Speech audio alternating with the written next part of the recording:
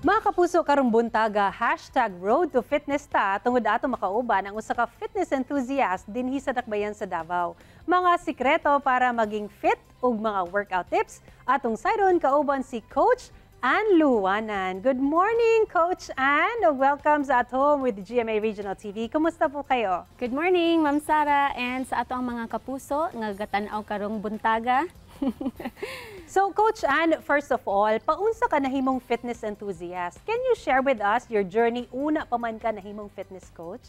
Nagsugod ko as a fitness coach uh, tungod kay nakoy injury katong mga 16, 17 years old pa ko kay giignan ko sa doktor 'di ba na kanang na ako'y diferensya diri sa ako ang likod.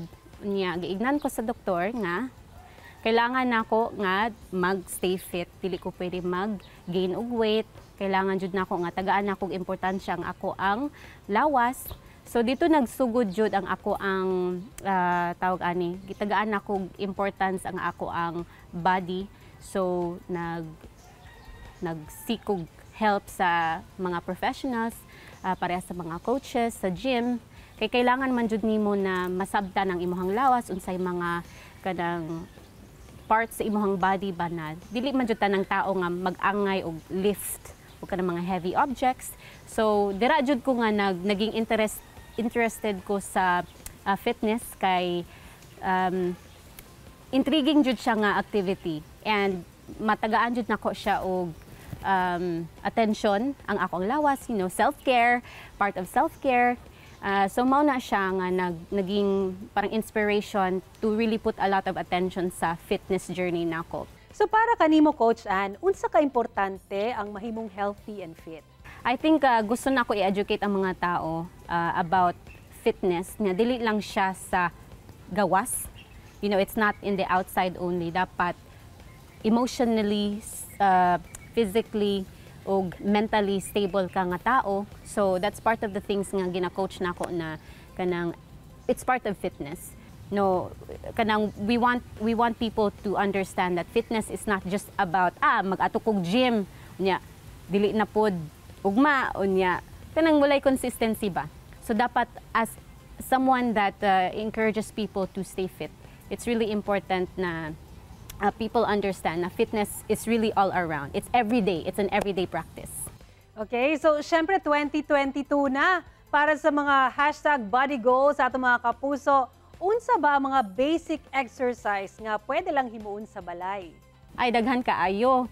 So, dili man jud nimo kailangan mag-spend og daghang kwarta para maka-exercise ka. But honestly, pwede lang ano, body weight lang nimo. Pwede lang kanang pares na ni na kay bangko, pwede pod na kana standing position daghan magka mga stretching.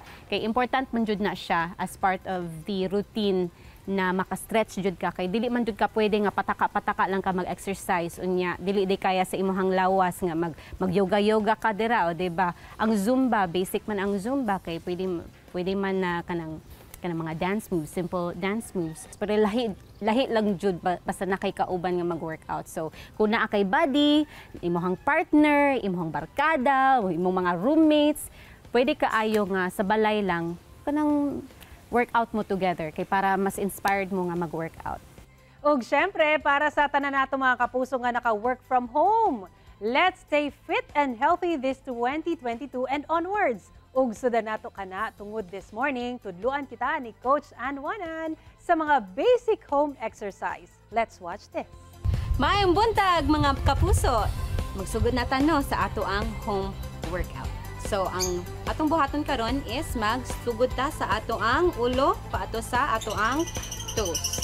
Ayan. So head to toe. So ang ato ang posture, ang ato ang position dapat naka back straight og ang ato ang chest. So chest dapat nakagawa siya okay chest out. Kung saan ba nato pag measure kung naka chest out? Kaya ang uban magod nagabako magod sila in ani okay? In the long term uh, in the long run pang long term dili na siya maayo sa atong lawas kay kasi makascoliosis ta or sa mga diferensya sa likod So dapat maanad ang ato ang lawas na naka back straight. So i, i taas nimo ang imuhang kamot in ani. touch diri sa pag ipatong siya diri sa ato ang shoulders then ibaba. Okay? Mauna na siya ang ato ang position sa proper posture. Okay? So nakabend ang ato ang knees. Okay? Ang tuhod nato nakabend siya sa inani and diri sa gilid ang ato ang kamot. And rotate ang ato ang ulo sa right. Okay, one two three four.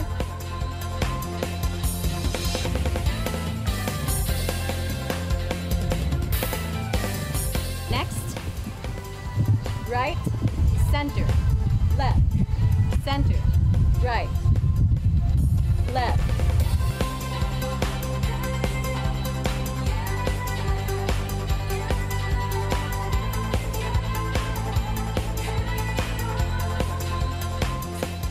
Okay, kuhaan na to ang ato ang palm, ibutang siya diri sa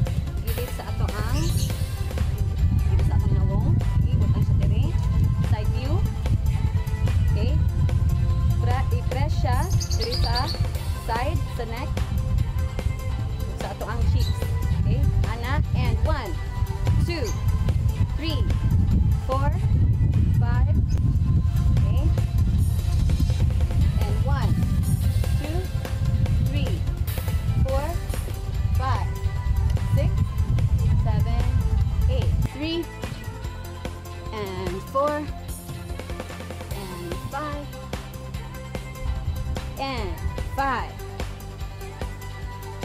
and six and eight. Last part sa ating stretching, focus po tayo sa ating ankles at sa toes.